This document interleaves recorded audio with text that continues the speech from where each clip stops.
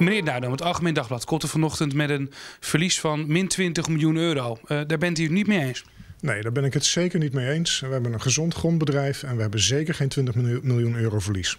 Hoe kan het volgens u dan dat dat ja, toch zo berekend wordt in het AD? Nou, er zijn twee uh, getallen bij elkaar opgeteld die uh, precies het tegenovergestelde aangeven. Je hebt uh, twee methoden in zijn algemeenheid voor gemeenten die en hun grond, grondbedrijven. De ene gemeente koopt de grond en zet hem dan in de boeken voor de verkoopwaarde die ze denken er ooit mee te gaan maken. En vervolgens hebben ze geld gecreëerd en dan gaan ze spannende dingen mee doen. en als die verwachtingen dan niet uitkomen, ja, dan moet je je verlies nemen.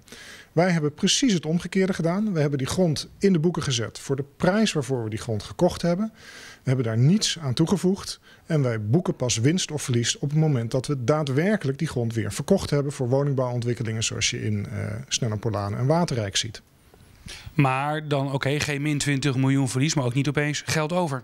Nee, dat, uh, we gaan daar niet op speculeren. Wij gaan juist netjes wachten om te zien wat er met die grond gebeurt. En dat analyseren we en uh, melden we getrouw ieder jaar aan de Raad wat we ongeveer verwachten. En we verwachten steeds op ongeveer nul uit te komen. Maar ik neem aan dat u die grond wel ooit gekocht heeft om daar winst mee te maken.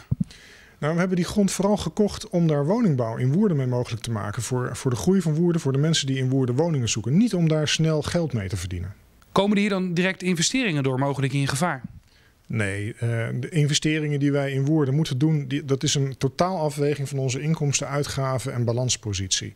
Dat heeft weinig te maken met het grondbedrijf. Dat hou je juist apart om dat niet te veel invloed te laten hebben. Dus je kijkt, als je het hebt over wegen of over bruggen of over gebouwen, kijk je vooral naar de balanspositie van de gemeente zelf en niet die van het grondbedrijf. Juist die twee met elkaar vermengen.